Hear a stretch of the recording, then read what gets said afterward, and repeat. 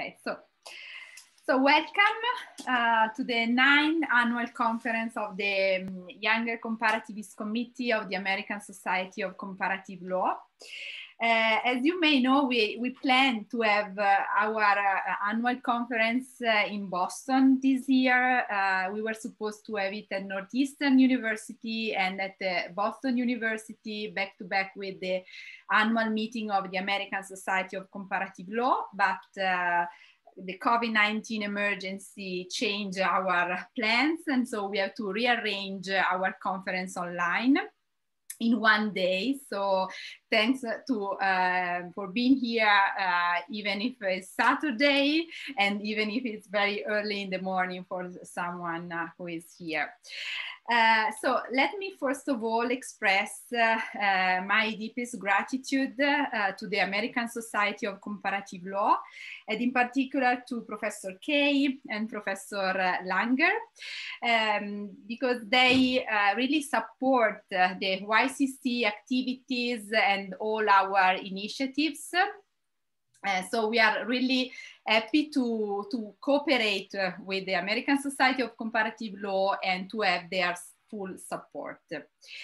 Um, I'm also very uh, grateful to the uh, YCC board, to my colleagues uh, who are working uh, very well in uh, organize initiatives uh, and also in organize this annual conference.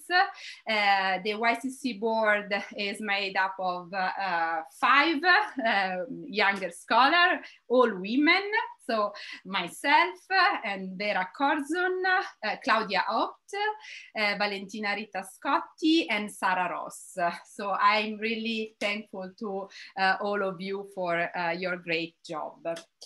Um, so I also very happy that Professor Langer and Professor Kay are here with us, uh, opening our, our conference. And so I give immediately the floor uh, to them, so to Professor Kay and then to Professor Langer. Thank you. Thank you, Anton. Um, uh, I'm very happy to, uh, to be here to start uh, this session, this conference today, and to give you my welcome uh, as the outgoing president of the American Society of Comparative Law. Uh, in the job of being president of the American Society of Comparative Law, you can imagine um, you do a lot of welcoming. Um, but this, and uh, having the election having taken place yesterday, you can uh, take this as my uh, farewell welcome. Um, the YCC uh, has, for many years, uh, been one of the most active, um, productive components uh, of the American Society of Comparative Law. And it has done an uh, incredible job in encouraging and developing comparative law scholarship in the United States, um, but also, as this, I think, meeting will illustrate, um, around the world. And it has been my privilege uh, as president and before that as vice president uh, to work with the YCC chair and, uh, and the committee. It's been a pleasure in particular uh, to work with our uh, previous uh, chair of the YCC, Joanna Torco as well as uh, the current chair, Antoni. And I know that this cooperation has been valuable to the society, and I hope uh, that it is, has helped the activities of the YCC. And let me mention one thing that Antonia uh, already told you about. Uh, in the past year, uh, something which illustrates the kind of working relationship we have uh, has, was the decision to coordinate uh, the YCC's annual conference with the ASCL annual meeting. And so as Antonia told you, the original plan was to have the YCC conference hold its sessions on Thursday and Saturday, I think, at Northeastern Law School. Uh, Claudia uh, helped uh, and Margaret Woo there were coordinating with us. So it would then kind of bracket uh, the ASCL annual meeting, which takes place on Friday uh, and Saturday uh, and would have been at Boston University. So we would have had two sites, but both in Boston, uh, which would have allowed um, substantial cross-registration, um, which in essence means a larger meeting, a more contacts, more discussion, more relationships established. Um, and I think that would have been, and to some extent still is, uh, especially valuable for younger scholars. Um, well, you know, like everybody else, so we had some surprises waiting for us, uh, and we end up where we are now. Uh, that is where the conferences are indeed taking place uh, in sequence, um, but it also has uh, its advantages uh, in allowing two sets of registrants uh, to profit from the two. Uh, but it does not give us, unfortunately, the utility uh, of personal contact with a wide range of scholars uh, that we had hoped for um, in connection with the double Boston Conference. Um, let me finally offer, uh, refer to another way in which uh, the closer uh, cooperation and coordination with the society uh, has yielded benefits. Um, and especially uh, those of us who don't quite qualify as younger comparatists have had the chance uh, to consult with, to communicate with, to work with um, the leaders of the Younger Comparatists Committee and it has given us a chance to evaluate and appreciate their many uh, talents. And as time has gone by, uh, there have been more and more, though I won't name names, uh, an easy transition of people active in the YCC into important leadership roles uh, in the American Society of Comparative Law. So finally, let me congratulate the committee, congratulate all of the people who are helped organize this and all of the participants uh, in this conference. Uh, the program reveals a rich set of panels, and I look forward to learning uh, from many of them.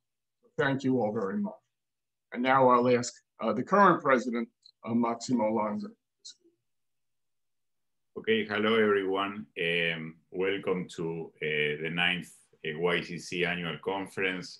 as, as now you know, emeritus president uh, Rick Kay was just saying this, this, if Rick, this is for you, your farewell welcoming. This is my first one, uh, welcoming as president of the Society of, of Comparative Law, and it's a special uh, privilege uh, to do it in this setting because I think that you are the future of comparative law. Uh, the YCC uh, has already shown that, right, by raising uh, now more than one generation of, of, of comparative law scholars that uh, have gone to, to different institutions, to different positions uh, around the world that have produced very important scholarship also around the world and that, yes, have already made very important contributions to our society. I don't want to repeat you know, like this, this, all the things that that Antonia Baraggia and, and, and President Kay just said, uh, I think they are well said, and I couldn't say them better. Uh, but um, one thing I do want to emphasize is that uh, the idea of integrating right the two conferences right having the annual meeting and the and the ycc conference back to back is i think a wonderful idea. It's an exciting idea. It's a pity that this year we couldn't do it in person as we were hoping uh, but um, we are hoping that well we, we we have at least zoom right to to have this version of it and we are hoping that we will be able to do that next year in wisconsin uh, and, and, and hopefully even three years down the road in Florida International University because the society voted yesterday to have uh, its 2023 annual meeting at the Florida International University.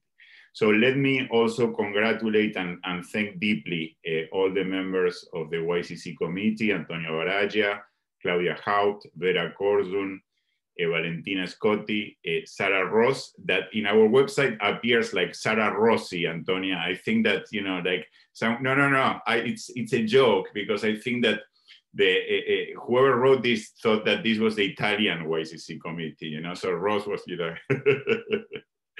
uh, uh, uh no, truly to the to the five of you and all the people that have put work here. Uh, it's a wonderful event. I'm looking forward to it. Congratulations to the organizers, and you know, I'm looking forward to to this very productive day of, of intellectual exchange. So thank you. So thank you very much, Professor Kate. It has been a really a pleasure to, to work with you. And uh, we look forward also to work with uh, Professor Langer uh, in the, for the upcoming events of the YCC and of the American Society of Comparative Law. So before moving uh, with our prize ceremony, I would like to say a few things uh, about uh, the YCC activities and the future initiatives, uh, because uh, the current emergency in particular uh, poses several challenges to the academic world, but especially to younger scholars, because, for example, faculty hearing uh, may slow down and it is more difficult to meet uh, colleagues in person and also to establish a kind of mentorship or to exchange views with senior professor. So the YCC, uh, which is made by younger scholar, is well aware of these difficulties uh, uh, for younger scholar, in, specifically in this time of emergency. And so we are uh, thinking to uh, offer new uh, opportunities to, to the younger scholar using new technologies and these platforms and so on and so forth. So we have recently launched a book talk series uh, in which uh, uh, we will discuss books written by younger scholar. We, we have uh, uh, last week uh, the first of this book talk uh, in which we presented uh, Professor Biagi uh, book on the role of constitutional court in democratic transitions. And on November 13, thanks to Claudia Haupt, who organized the event, we will discuss the book, the edited book by Professor Ignazio Cofone uh, from McGill University on uh, privacy and data protection. And so we are uh, plan uh, books uh, talk series. And so I'm also uh, asking you that if you have uh, uh, ideas or proposal, feel free to reach us and to propose to organize a book talk within this new series. Um, the second thing that uh, uh, we are working on uh, and which is already in place uh, is our mentorship program. Uh, we issued a call uh, for mentorship um, last month. the idea is that if you have a paper that you are working on, you can send it to, to us and we will match your paper with a professor, an expert in the uh, Uh, in the field of in the topic of your paper. So uh, please uh, uh be aware also of this possibility, which is uh, an occasion, an opportunity to to have um, comments on your paper by a senior professor. Um, the, the other uh, activities uh, we are working uh, on uh, is, of course, to keep uh, our annual meeting. And as already Professor Langer said, we are organizing our next annual meeting back to back with the American Society of Comparative Law annual meeting. And it will, it is planned to be in Wisconsin and 2021, hopefully in person. And so uh, more news will follow when we have a program and more details uh, on it. Uh, so I'm, uh, I just want to say that if you have any ideas or suggestion, please feel free to reach us because we are really eager to uh, work with you and to cooperate uh, with you in building new opportunities and new initiatives. So now uh, I am very happy to open the prize ceremony because uh, among our activities, there is also the award of some prize for younger scholar in comparative law. And so uh, for this uh, ceremony, I uh, want to give uh, the floor to the chair of our um, committee, in particular to Professor Alyssa King, who is the chair of our scholarship advisory group, uh, which is the group that have uh, evaluated and assessed all the papers that uh, um, were sent to us in response to our call for the Colin B. Picker Prize. So please, Alyssa, the, the floor is yours. Thank you, Antonia. And um, I would like to thank the whole scholarship advisory committee this year. Um, we are looking for a few new members. So uh, if that's something that interests you, we're particularly interested in subject matter and regional diversity.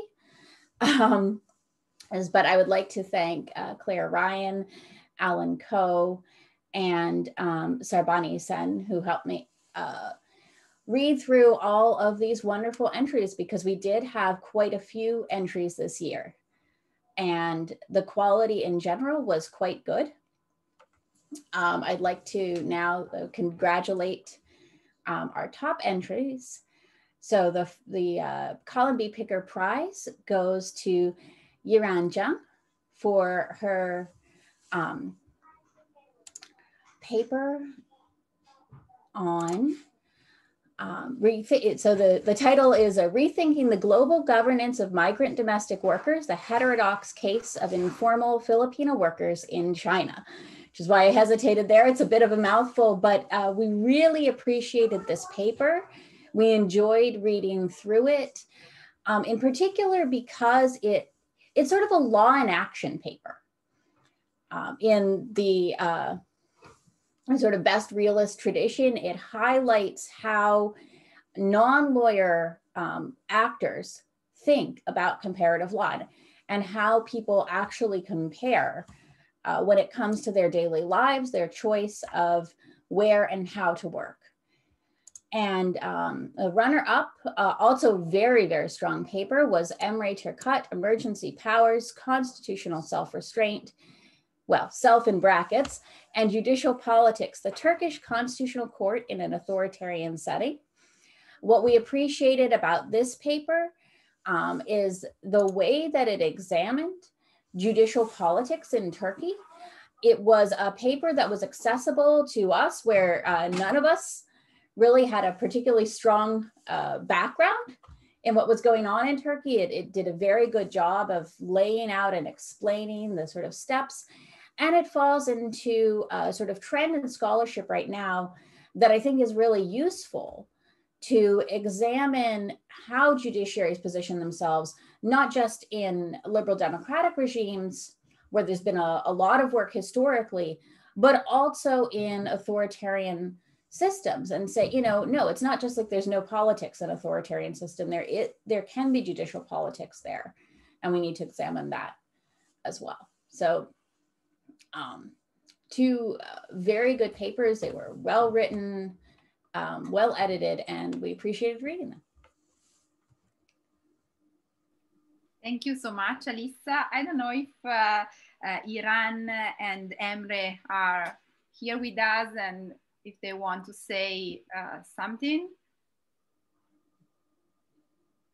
Um, so sure, I, I'm I'm here and I I'm ex exceptionally honored to receive this prize and thank you um, both Professor Kim and Professor uh, Antonia for like reading my paper and also giving feedbacks on this. It's particularly, it's a particularly isolated time, especially for graduate students that locked up in the bedroom. And so with given that background, it's particularly um, awarding to rewarding to receive comments and to have an audience. So I want to thank everybody for making this virtual platform happening this year. Thank you so much. So congratulations, uh, Yiran. And uh, Emre? Yeah, I'm, I'm also here. You can hear me, right? Great. Yes. Well, I can also only, you know, express my sincere thanks for the generosity. And of course, I had no idea that, you know, uh, you were considering me for this award uh, or prize or that, uh, you know, my paper is good enough to be considered for it. So it came as a complete surprise. Uh, but still, my deepest thanks uh, for recognizing my work. And uh, of course, you know, it gives an amazing feeling to be, you know, to, to of getting awarded for the uh, efforts that, that I put in in the paper. Thank you so much. So thank you, Emre, and congratulations not only for the prize, but also because yesterday, if I'm uh, correct, yes. you defended uh, your PhD uh, dissertation. So double congratulations to you. Yeah, I mean, yesterday was quite challenging for me, but still, you know, I managed it. Thank you. Great. So, oh, and now, I Yes, go on. Say if I can, sorry. Um, I don't want to volunteer my whole committee, many of whom are not here.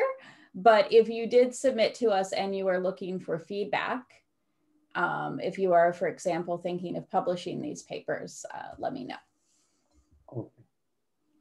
Great, thank you, Alyssa. Thank you very much also uh, for uh, your great job uh, in uh, uh, reading all the papers that uh, you and the committee received. Thank you so much. And then we have also our Eder Prize, which is awarded by our affiliate advisory group, chaired by Professor Da Silva. Michael, the floor is yours. Hi, so thank you, uh, Antonia, for uh, the opportunity to revise all these papers, to read all these papers rather, and thank you to the member, the voting members of the affiliate advisory group who made the selections with me. Uh, the Phanor J. Eder LLB slash JD Prize in Comparative Law is for unsurprisingly, LLB slash JD scholarship in comparative law. And this year we had several very interesting papers and it was great fun to read them. Uh, we are also looking for additional members. So this is a call out. It's a lot of fun and it's very fascinating and you get to meet people nice and early who I think we're gonna see around the YCC and the ASCL for quite a while. So um, please do join with us. Uh, we did have several very good papers this year that you know, wouldn't have surprised me if they had have come in for the Picker Prize, uh, but they were from JD LLB students. That being said, we had among the voting members unanimity on the honorable mention and on the winner this year. And they both suggest that this is a very good year for Duke University, and in particular, a very good year for comparative constitutional law at Duke University, as both our honorable mention and our prize winner both came from Duke. Um, I'm not going to give too much detail on the papers because they both will be in section 3B this afternoon on comparative constitutional law. But in addition to giving the names, maybe it would be nice to just give you a nice little preview and explanation of why we chose them so that uh, many of you can join us this afternoon in 3B. Um, our honorable mention prize goes to Alex Bednar for a paper entitled Democratic Backsliding and Attacks on Independent Judiciary, a comparative analysis of Hungary, Poland, the Czech Republic, and Slovakia. And this is a inter very interesting paper of, on an issue of critical importance. It's an analysis of the independence of the judiciaries in the Central European states of Poland, Hungary, Slovakia, and the Czech Republic. And as Alex interestingly notes, Poland and Hungary are commonly understood to be so called democratic backsliders, partly due to their lack of an independent judiciary after a series of uh, somewhat recent political events. And yet, the otherwise quite similar nations of Slovakia and the Czech Republic don't face this charge. And Alex does a very interesting job of demonstrating that mere structural differences in the constitutions of these four states can't explain this difference in the judicial independence between the first two and latter two countries, and makes a very intriguing claim that's of particular importance uh, given the comparative legal history emphasis of the larger conference, that the long history of judicial review in Czechoslovakia produced a culture of judicial review that survived Czechoslovakia and has avoided democratic backsliding in Slovakia and the Czech Republic. So this is a very interesting paper of critical importance, and we're happy to provide the honorable mention to it. The winner of the prize, however, was also from Duke and was Haley Lawrence for a paper entitled A Comparative Study of the Political Question Doctrine in the Context of Political System Failures, the United States and the United Kingdom.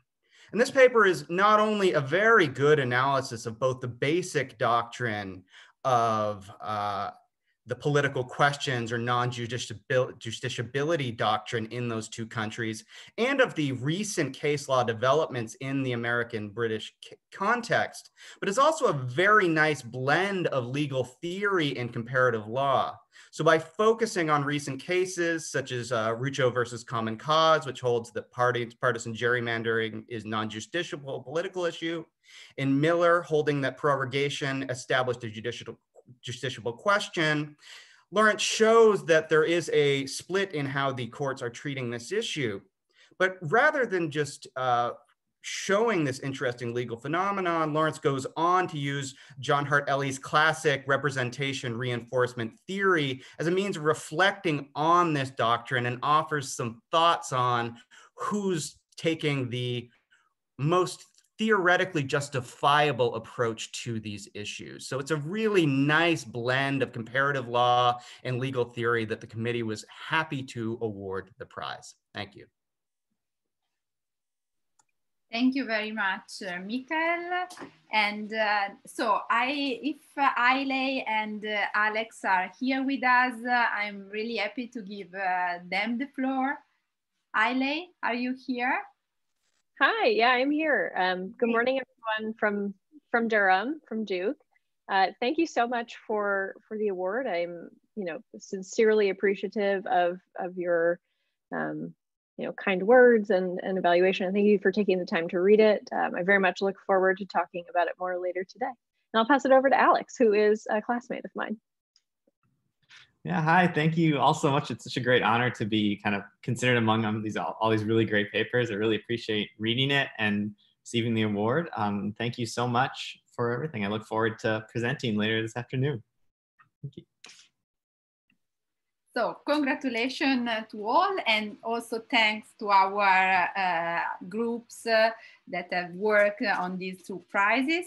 And uh, uh I renovate uh, the invitation of Michael and Alyssa. So if you are willing to serve uh, in one of our uh, advisory group, uh, feel free to reach us. And so this, uh, the YCC experience is really a team experience. So we are always happy to have new members and to work with other new members.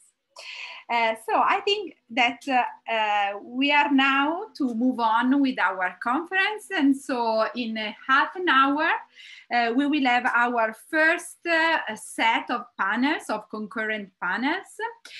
So the first one will be Public Law in the Digital Age, chaired by Claudia Haupt.